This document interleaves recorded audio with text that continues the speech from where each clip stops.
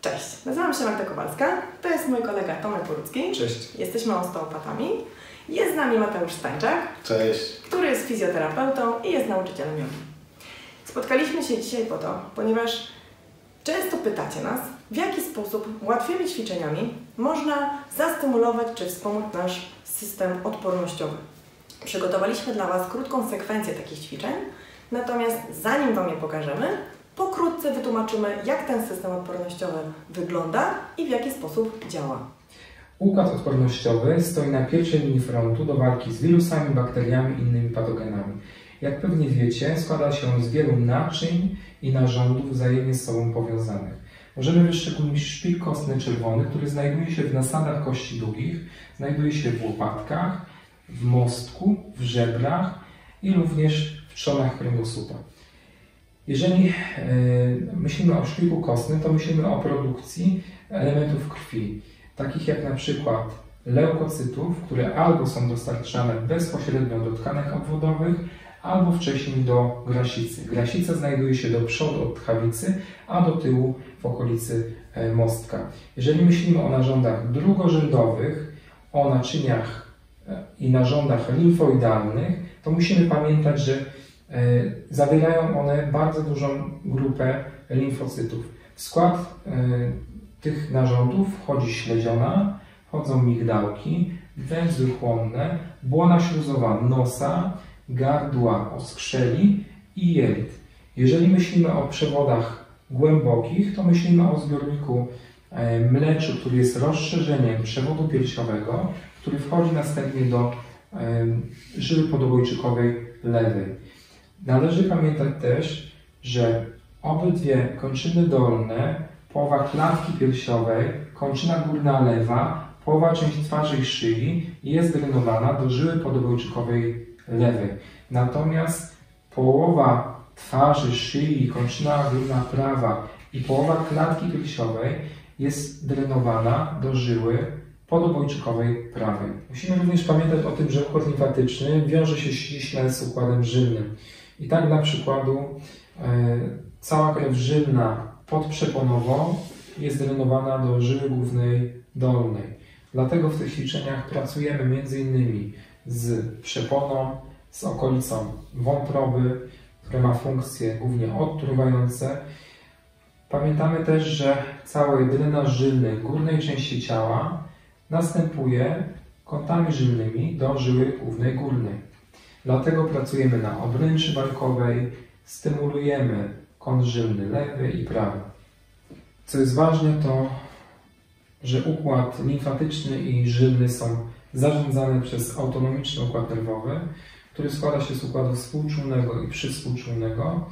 Nie będziemy teraz wchodzić w wielkie szczegóły.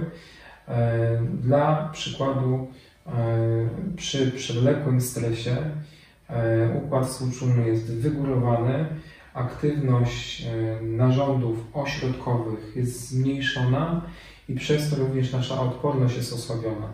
Dlatego w tych ćwiczeniach, które e, Państwu zaprezentujemy, pracujemy między innymi na klatce piersiowej, dlatego że tam znajdują się główne ośrodki układu współczulnego, jak i pracujemy z okolicą przepony, przez które przechodzą elementy układu przywspółczulnego, jakimi są nerwy błędne, które unerwiają m.in.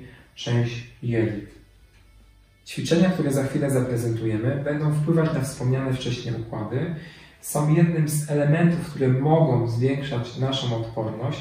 Innymi ważnymi komponentami będzie odpowiednie odżywienie, nawodnienie, odpowiednia ilość snu, aktywność fizyczna i zdrowie psychiczne. Musimy też uwzględnić, że choroby współistniejące i przebyte operacje również mogą powodować obniżenie naszej odporności. Usiądź wygodnie. Rozstaw nogi szerzej. Spleć palce rąk z tyłu głowy. Łokcie skierowane są do przodu. Następnie z wydechem wykonaj tyło pochylenie miednicy, czyli podwiń kość ogonową i powoli roluj głowę i kręgosłup tak, aby łokcie doszły między kolana. Kiedy zaczynasz robić wdech, ponownie wprowadź tyło pochylenie miednicy i odwijaj kręgosłup do pozycji wyprostowanej. Kiedy otworzysz łokcie, Oprzyj kark na dłoniach i odchyl klatkę piersiową głębiej do tyłu. Pozwól otworzyć się przedniej części klatki piersiowej.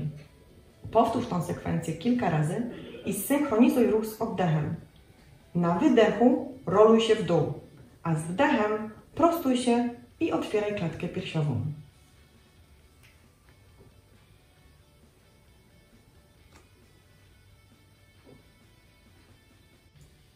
Dłonie na mostku. Ściągnij skórę w dół, aż do wyczucia oporu. Następnie powoli odciągaj brodę ku górze wraz z odchylaniem głowy do tyłu, aż poczujesz delikatne rozciąganie przodu szyi. Zatrzymaj się. Następnie weź głęboki wdech i robiąc długi wydech, ściągaj rękami mostek w dół przez kilka sekund. Powróć do pozycji neutralnej, a następnie powtórz to ćwiczenie jeszcze cztery razy.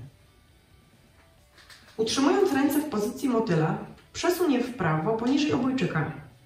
Tak jak poprzednio, ściągnij skórę w dół, weź głęboki wdech i robiąc długi wydech, odchyl głowę w przeciwną stronę, ściągając dłonie w dół. Powróć do pozycji neutralnej i powtórz to ćwiczenie jeszcze cztery razy. Następnie zrób to samo po stronie przeciwnej. Ułóż ręce pod obojczykiem po stronie lewej. Weź głęboki wdech i robiąc długi wydech, odchyl głowę w stronę przeciwną, ściągając dłonie w dół. Również powtórz to jeszcze cztery razy.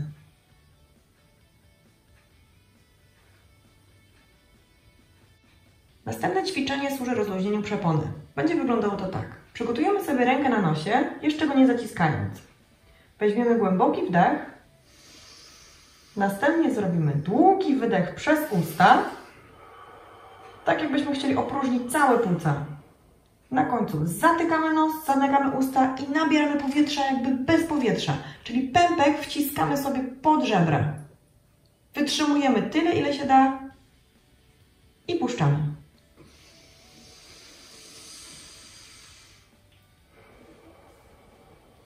Odetchniemy przez chwilę i powtórzymy to ćwiczenie jeszcze cztery razy.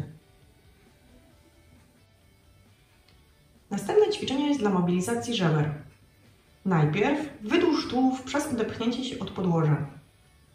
Chwyć prawą ręką za lewe kolano, a lewą ręką podeprzyj się z tyłu w linii kręgosłupa lub chwyć za brzeg siedziska.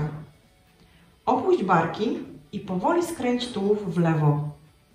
Na wdechu skoncentruj się na wydłużeniu kręgosłupa, a z wydechem delikatnie pogłębij skręt tułowia i głowy.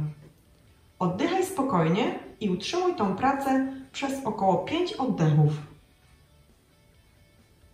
Następnie powróć do pozycji neutralnej i powtórz to samo z drugiej strony. Do następnego ćwiczenia najpierw potrzebujemy znaleźć 12 żebro. Tym celu znajdujemy miednicę, czyli twarde z tyłu. Jedziemy po twardym do pierwszego miękkiego i około jednej szerokości kciuka powyżej pierwszego miękkiego poczujecie żebro. Krótkie żebro, którego końcówkę możecie wyczuć idąc w kierunku talii. To miejsce delikatnie wciśnij do środka jak klawisz. Następnie postaraj się wykonać wdech w dwunaste żebra i poczuj, jak siła wdechu wypycha Twoje kciuki. Przytrzymaj wdech przez chwilę, utrzymując nacisk na żebrach i z wydechem rozluźnij. Powtórz to ćwiczenie jeszcze cztery razy. Przy kolejnym ćwiczeniu kciuk ręki prawej układamy nieco poniżej 12 żebra. Natomiast rękę lewą układamy nad pępkiem poniżej mostka. Robimy wdech w swoją rękę, która znajduje się na brzuchu i ręka ta stawia opór lekki. Podczas wydechu ręka prawa z kciukiem podąża w głąb tułowia. Powtarzamy to ćwiczenie jeszcze cztery razy.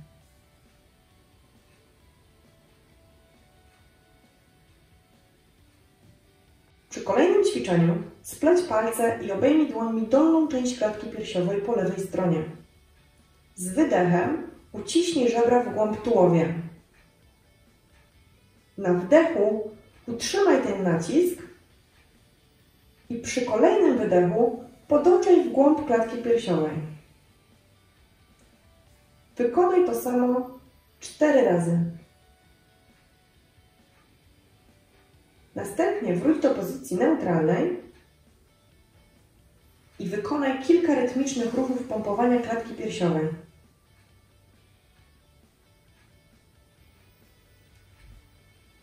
Tą samą sekwencję wykonaj po stronie prawej. Przy następnym ćwiczeniu, wykorzystując nasady dłoni, chwyć od boków za tkanki miękkie brzucha, a następnie przytrzymaj je w splecionych dłoniach. Teraz powoli pociągnij tkanki do przodu, aż poczujesz rozciąganie. Staraj się utrzymać tą trakcję przez 5 kolejnych głębokich wdechów.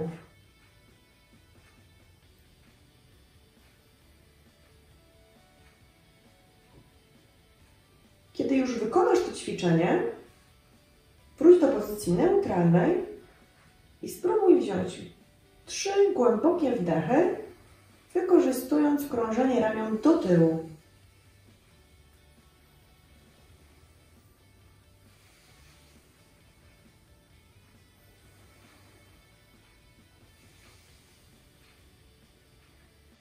A teraz, wykorzystując opuszki palców, rytmicznie opukujemy klatkę piersiową przez około minutę.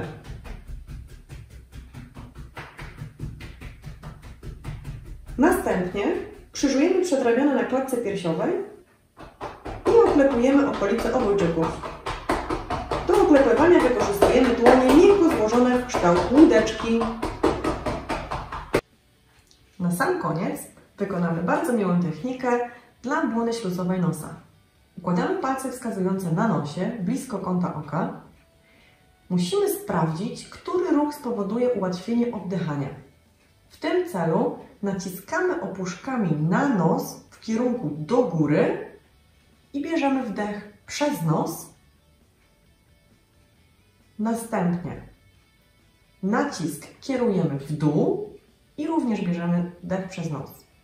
Sprawdzamy, który kierunek powoduje, że łatwiej nam się oddycha. Jeżeli jest to na przykład kierunek w górę, przytrzymujemy ten nacisk przez kolejnych 5 wdechów.